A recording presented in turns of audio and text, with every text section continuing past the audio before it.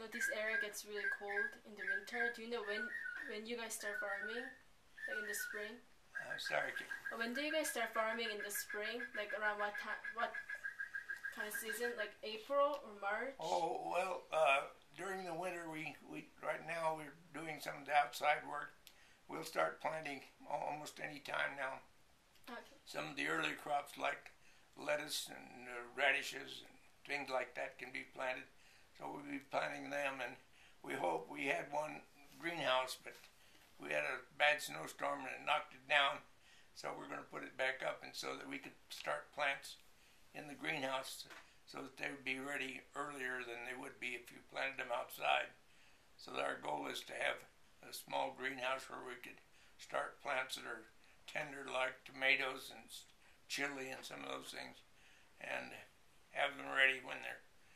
We've been pretty fortunate, and the local greenhouses are pretty good about donating some to us, but we still would like to have, and it would be a good opportunity for training and showing people how you grow things because we could do it all winter, you know.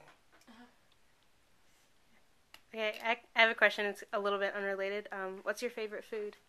Huh? What's your favorite food? Fruit? Any kind of food? Oh, I don't know. Pears. Pears? Okay. We have a little pear that's very small, about that big. Oh wow. but they're very sweet. People say they're small. I said, well, eat two. but it's a very good, very beautiful little fruit. We went to a Keith museum. They actually had a picture of a pears. Did you see that one? Yeah. Yeah, it was cute. So we have quite a variety of different. We try to grow different varieties to see which ones do best here.